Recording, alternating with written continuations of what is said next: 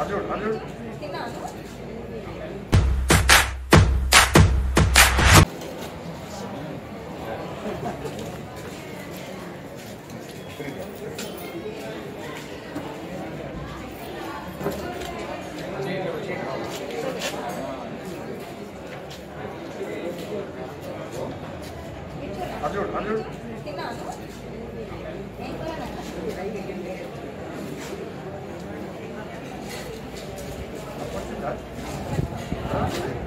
그러네.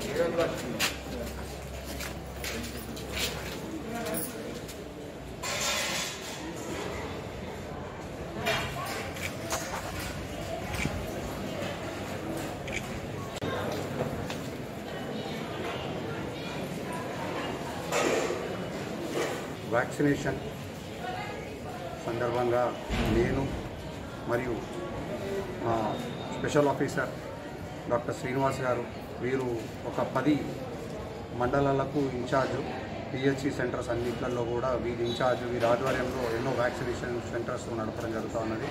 వారు వారు చెప్పినట్టుగా మన జగిత్యాల్లో జిల్లాలో hundred percent first dose vaccination జరగడం చాలా సంతోషకరమైన విషయం మొదటిగా. రెండో డోసు పరంగా మనకు ఒక సిక్స్టీ పర్సెంట్ వరకు అయ్యిందని ఇంకొక నలభై పర్సెంట్ వరకు ఇంకా వెయిటింగ్లో ఉన్నామని చెప్పడం ఇంకా అది కూడా సంతోషకరమైన విషయం. తప్పకుండా మీ స్కూళ్ళల్లో కాలేజీలోకి వచ్చి కంపల్సరీగా మీరు వ్యాక్సినేషన్ వేయడం జరుగుతుంది. మరి దీన్ని మీరందరూ కూడా సద్వినియోగపరచుకోవాలని తెలియపరచుకుంటూ మరి మరి కరోనా ఇంకా పూర్తిగా మాయవారలేదు కాబట్టి మళ్ళీ ఒమెక్రాన్ కొంత మళ్ళీ బయటకు వచ్చింది కాబట్టి థర్డ్ వేవ్ కూడా రాబోతున్నది వస్తున్నది అని హెచ్చరిస్తున్నారు కాబట్టి మనం అందరం కూడా ఏం చేద్దామనంటే ఇప్పటి నుంచైనా మళ్ళీ ఒక్క మూడు నెలలు మాస్కులు వేసుకొని ఖచ్చితంగా బయట తిరగకుండా మనంతా మన జాగ్రత్తలు తీసుకుంటే మంచిదని మాస్కే మనల్ని కాపాడుతుంది. సో ఆ మాస్క్ ధరించి మీరు ఏ పనులు చేసుకున్నా ఇబ్బంది లేదు. కానీ మాస్క్ మాత్రం కంపల్సరీగా ధరించాలని కోరుకుంటూ సెలవు తీసుకుంటున్నాను. Thank you. అందరికీ నమస్కారం ఈరోజు శ్రీ చైతన్య జూనియర్ కళాశాలలో రాష్ట్ర ప్రభుత్వ ఆదేశాల మేరకు ఫిఫ్టీన్ టు ఎయిటీన్ ఇయర్స్ పిల్లలకి వ్యాక్సినేషన్ కార్యక్రమాన్ని ప్రారంభించడం జరిగింది.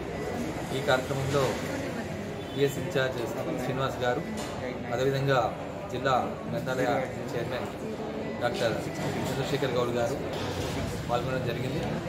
వ్యాక్సినేషన్ అనేది చాలా ఇంపార్టెంట్. థర్డ్ వేవ్ అనేది ఎంటర్ అయిన సందర్భంలో పిల్లలలో ఎడ్యుకేషన్లో ఎలాంటి ఇబ్బందులు రావద్దని చెప్పేసి మన రాష్ట్ర ప్రభుత్వం ఒక మంచి నిర్ణయాన్ని తీసుకోవడం జరిగింది. ఈ విషయంలో మన ప్రభుత్వ యంత్రాంగాన్ని అభినందిస్తున్నాను. పిల్లలు కూడా వాలంటరీగా పేరెంట్స్ సపోర్ట్తో వచ్చి వాళ్ళు వ్యాక్సినేషన్ తీసుకుంటున్నారు. ఈ కార్యక్రమాన్ని కళాశాలలో చేస్తున్నందుకు మెడికల్ డిపార్ట్మెంట్ వారిని పేరు పేరున అభినందిస్తున్నాను. ధన్యవాదాలు. ఈ కోవిడ్ వ్యాక్సినేషన్ మనకు సుమారుగా ఒక సంవత్సరం క్రితం ప్రారంభమైంది కోవిడ్ వ్యాక్సినేషన్. ఇందులో భాగంగా మన తెలంగాణ ప్రభుత్వం రెగ్యులర్గా మానిటర్ చేసి ఫీల్డ్ లెవెల్ స్టాఫ్తోని తర్వాత ప్రజాప్రతినిధులు అందరితోని కూడా కోఆర్డినేట్ చేసుకొని తర్వాత అన్ని స్కూళ్ళు కాలేజెస్ పంచాయతీరాజ్ సిస్టమ్ వీళ్ళందరితో మున్సిపల్ అందరితో కోఆర్డినేట్ చేసుకొని మనం హండ్రెడ్ పర్సెంట్ రీచ్ అయ్యాం. సో అది మనకు ఒక గ్రేట్ అచీవ్మెంట్. హండ్రెడ్ పర్సెంట్ ఇంతమందికి మూడు కోట్ల మంది కంటే ఎక్కువ మందికి మనం వ్యాక్సినేట్ చేయడం అనేది చాలా క్రెడిబుల్ థింగ్ ఒకటి. సెకండ్ డోస్ కూడా ఆల్మోస్ట్ నైంటీ పర్సెంట్ రీచ్ అయింది.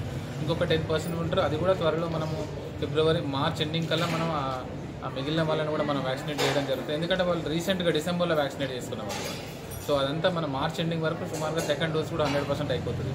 ఇప్పుడు ప్రభుత్వ కృషితోని మన ఫిఫ్టీన్ టు ఎయిటీన్ ఇయర్స్ వాళ్ళకు కూడా చేయగలుగుతాం. ఈ ఫిఫ్టీన్ టు ఎయిటీన్ అనేటోళ్ళు పాపులేషన్లో ఒక రఫ్ లెక్క ప్రకారం సిక్స్ పర్సెంట్ ఉంటారు.